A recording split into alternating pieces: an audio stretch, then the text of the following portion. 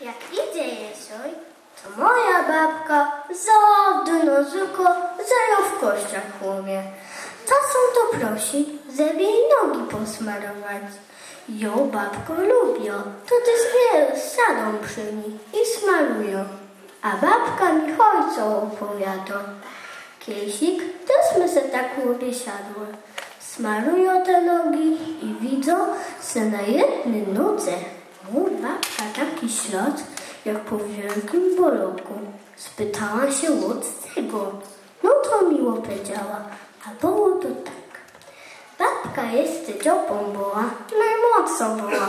To zawsze musiała robić to, czego sąsiedzi Piota nie chciały. Kazała mamusia do Marysi na jaworze zanieść kogutka.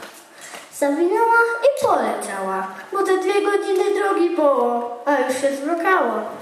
Przy drodze, tam gdzie się dochodziło łodna z Nicaków, napisarowo, a na drugą stronę zjeżdżało na Kobocono stała figurka frasobliwego, którą Kazimierz Widonek postawił, jak się czwarty raz wozonił. Trzy Kazimierzowi umarły i ksiądz mu przepowiedział, że jak cwa to zmarnują, to mu więcej ślubu nie da. Figurka Fikli wystrzygona, ustawiona w kaplicusi i ogrodzona, miała być wotu. Przeżegnała się babka jak zawsze koło figury i poleciała.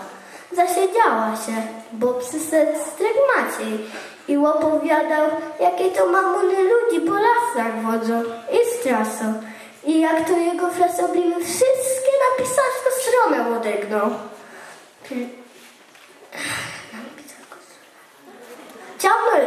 Się babka zabrała z powrotem. Młoda była i smutna, to biegiem przez pięć lat przeleciała i znalazła się przy figurce. W tej cosik zasuszczył w krzakach. Przelokła się, przypomniała sobie, co Maciej gadali i jak nic przechipnęła na drugą stronę pod kaplickę. Tu mi się nic nie stanie, pomyślała se, bo jak zwis jaki dziki, to nie przejdzie. A jak to piekielnego, to przy kaplicy nie ma żadnej władzy.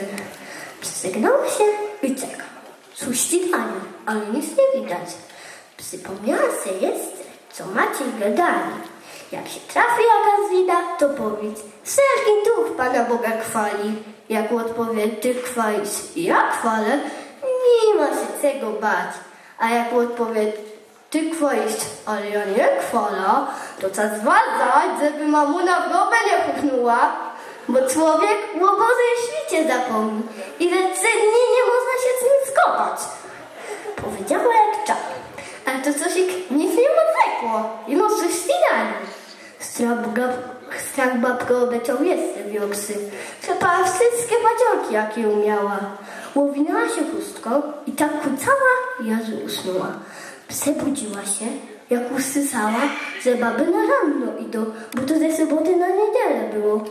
Obejrzała się, już się rozwidniło. Łomatko miłosierno, pomyślała, co ja tu robię? Jak mnie baby uwidzą, to będzie dopiero weści gadania. Chciała cichutko przesmyrknąć łogrozonia i smyrnąć siaki. Jak zawadziło łopaską łowogrozonia. Jak ją cisło na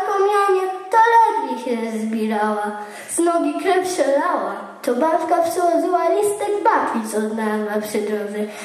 Zawinęła chusteczko i pognała ku chałupie. Noga wnet się zagoiła, ale ślad ostał.